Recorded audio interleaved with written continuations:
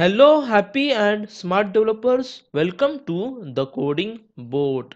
This is series of HTML practice. Today we are going to learn few more tags of HTML. So let's begin this session. I have already written one basic structure of HTML document where first line declares doc type of HTML to browser. Then we have HTML heading and then at line number 10 we are having closing of HTML tag. Within HTML opening and closing we have two important sections head section and body section. In body section I have written one message the coding boat. So let's save the code and observe in browser the coding boat this is our message now suppose i want to change i want to add color or i want to add background then how i can do it? We can do it using attributes provided by html okay so let's move ahead. Text is equals to blue.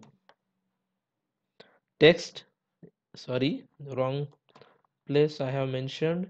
In body section we have text attribute whose color is blue. Okay.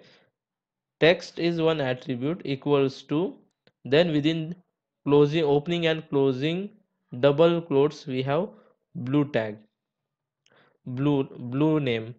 Let's save the code and observe. Now color of the text is in blue. Now i want to change background color. How we can change background color? With the help of bg color equals to orange. And save the code and refresh. Orange is background color okay? And color is the coding boat is in blue tag blue color.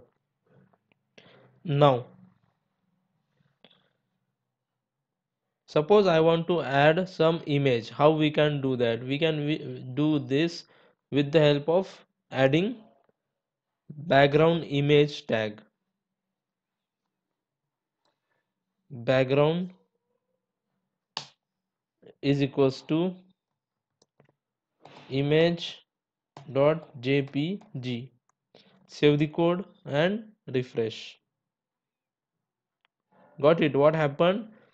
Background image is there but it is repeating.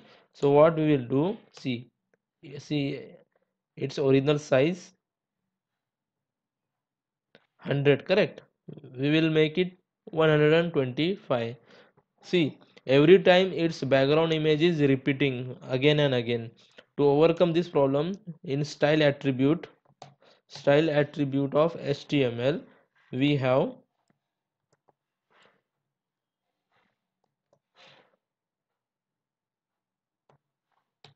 repeat background repeat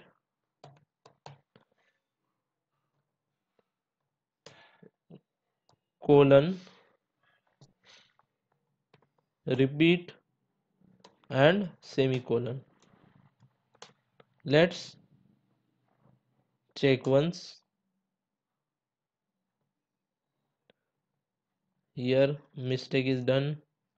Okay now.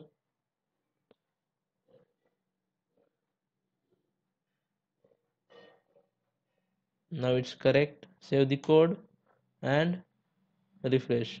Again it is repeating means some changes is there. It's not repeat is no repeat. No repeat. Save the code and refresh. Okay. So in this way we can create background color then we can set background and then we can set name in as per our requirement. Now the most important thing which i need to discuss in this session is how to write tags related to html and how to write properties related to css observe carefully okay? This is very very helpful. If you understand this then definitely it will be very very helpful for you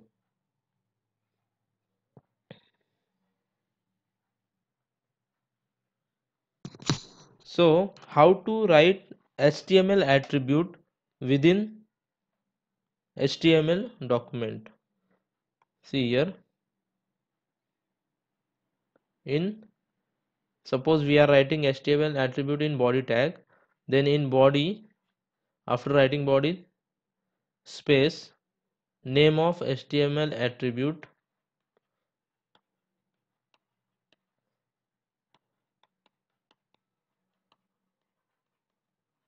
and then equal to symbol. Now it's value within double quote. End of semi end of double quote and then here we need to give some space. Okay understood. Uh, let me repeat once again. First within body tag suppose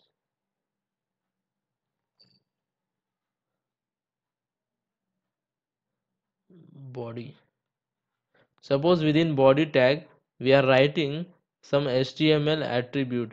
Then in html attribute we will write its name and then equal to symbol and then value of that particular html attribute. Okay?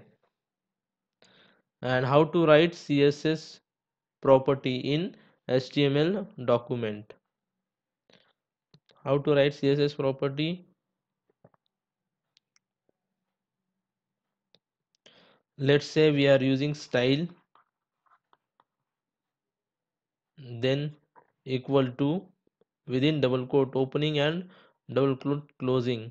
We can write property css property name. Css property name colon its value. And then semicolon. Okay? So here basically what happened? We are in style attribute. In style attribute we have css property name. We have css property name. And we have value there is no then end of the entire value of this style property. Okay.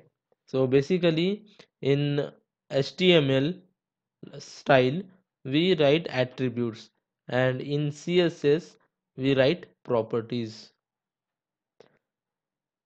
So that's it in this session. Let's meet in another session. Thank you